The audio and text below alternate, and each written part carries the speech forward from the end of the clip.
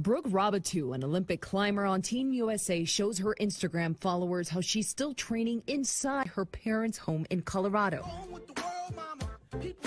And for those who don't compete, things have changed as well. It's been a little bit of a challenge.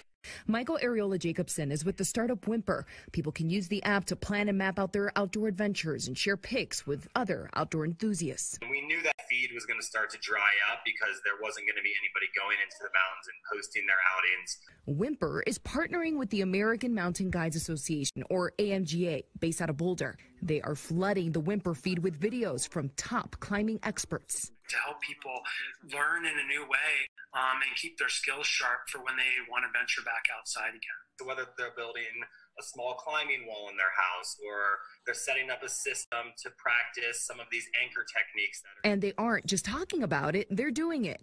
And practice techniques with a with a rope in front of me.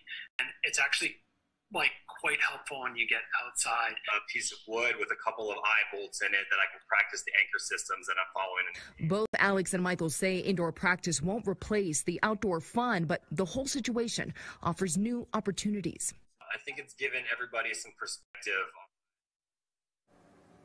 uh, both Whympr and AMGA don't have an official position when it comes to outdoor climbing as we all deal with social distancing rules, but they say right now is just not a good time to be doing these high risk activities. And they also don't want to add pressure to first responders and the hospital system as well. More information on Whympr and AMGA on KDVR.com. Erica Gonzalez, Fox 31.